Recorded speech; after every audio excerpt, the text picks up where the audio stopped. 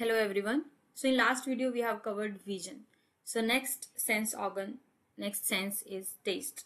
We know the organ is tongue. So in this video we'll be talking about what is basically how basically tongue sense different taste and how basically transduction occur and what is pathway involved. Okay, so let's get started. Fine. So when we talk about taste, there are around five taste which we can distinguish that is sweet, sour, salt, bitter and umami. So we know that the sense organ involved in taste is tongue. Okay. On tongue, on superior surface of tongue, we have different papillas. Okay. So there are four types circumvellus, circumvallate, foliate, fungiform and filiform. Filiform we don't discuss because we don't have any taste bud within that. Apart from that, if we see one papilla, the papilla is having a number of taste buds present. Okay, and the taste buds have the receptor to sense the taste. Fine. So we'll be talking about in next slide. If we see tongue, the nerve supply is the anterior surface of tongue is supplied with facial nerve, the seventh nerve, and posterior surface, posterior one third is supplied by ninth nerve, glossopharyngeal nerve. Okay, if we see the how the papilla are arranged, so this is the arrangement of papilla in which we have taste buds. Okay, if we zoom one taste, this see this looks like this image. So this is one taste bud which is opening on superior surface of tongue as taste pore. Okay, within taste bud itself there are one is the olfactory cells the the taste cells are present and there are some supporting cells are present okay and we have taste pore on superior surface. We have saliva here which increase the transduction pathway.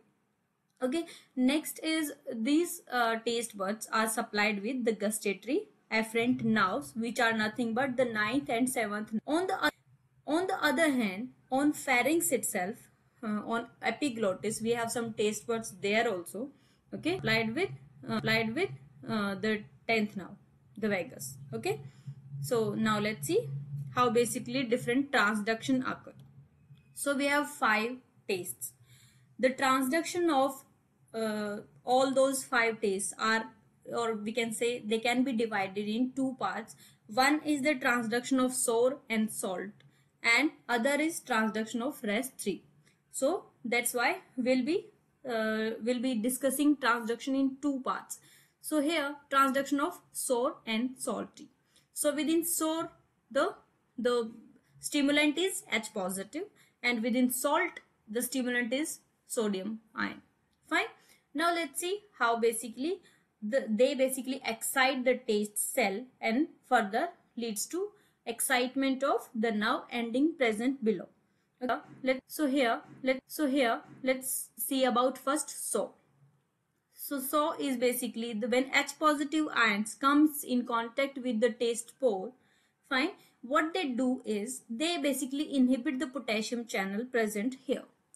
As the potassium channels are inhibited means potassium efflux is inhibited that means the potassium concentration increase within cell. That lead to depolarization and there are the calcium channels which are voltage dependent calcium channels so that depolarization lead to the calcium influx which depol depolarization of the cell leads to exocytosis of the neurotransmitter which is ATP and serotonin here which lead to the afferent nerve ending firing and the signal is transmitted to CNS. We'll see the pathway later on but only talking about only transduction. Next coming to salt the sodium which directly enters through the sodium channels and leads to depolarization as the cationic uh, concentration increase within the cell which opening of opening of these voltage gated calcium channels and hence thereby the exocytosis of those neurotransmitter here also it's ATP and serotonin which lead to afferent nerve ending firing. Okay so this is about sore and salt coming coming to transduction of sweet, bitter and umami which is also the same but here it's GP mediated, it's metabotropic transduction part. It was inotropic. It was inotropic okay. So here what happens is basically the stimulant which acts on some GPCR that is G protein coupled receptor which lead to activation of some enzyme which is adenyl cyclase here which lead to ultimately formation of protein kinase A and ultimately either it can be potassium channel inhibition occur or increase in calcium concentration occur. So here protein kinase A which inhibit potassium channel. So potassium influx is not happening which lead to increased potassium concentration lead to depolarization. That depolarization lead to voltage gated calcium channel opening and calcium influx which lead to exocytosis of these neurotransmitters. Okay. But this is the adenyl cyclase pathway. On the other hand, one more pathway can be involved here that is also metabotropic but this is phospholipase C pathway in which instead of cyclase phospholipase C is activated and converted into DAG and IP3. We know IP3 is basically responsible for increase in calcium store within the cell and that lead to further opening of calcium channel. So increase in calcium lead to the exocytome neuro, the same neurotransmitter and afferent firing. So that's how basically within the taste pore, the metabolite acts on taste cell and below the afferent firing occur.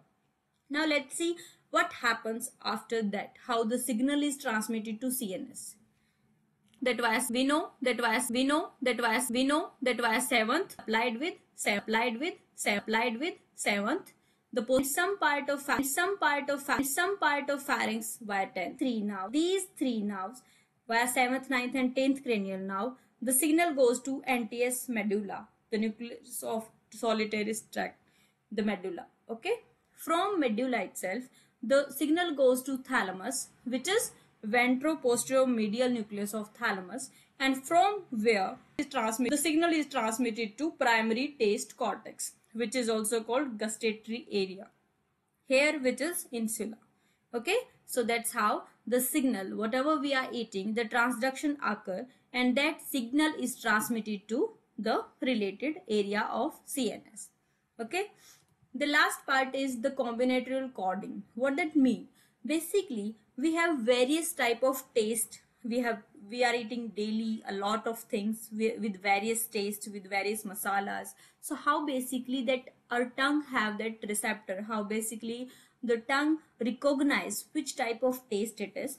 So for that we should know how basically one uh, one taste is basically activating one receptor or not so if one taste is basically activating a lot of receptor then it's very difficult to find out the taste.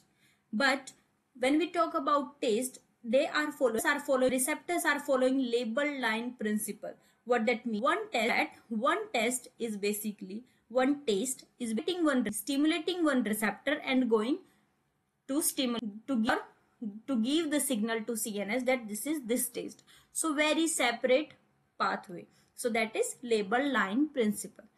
When we talk about this combination because various combination can activate some receptors so it's the dynamics of receptors that which taste is basically stimulating which receptor. It's the overall what we are going to perceive at CNS so each taste cell possesses a mixture of different taste receptors and all the taste fibers therefore respond to many taste compound and each compound excites spectrum of spectrum of fibers so it's not only one because we have many things which resemble sweet. So that sweet receptor is going to stimulate at that time. Okay. So all the GPR, GPCR, the G protein coupled receptors, whatever taste is going to stimulate them is going to us make us sense that this is like sweet, this is like umami. Okay. So that's why those tests resemble the main five taste here.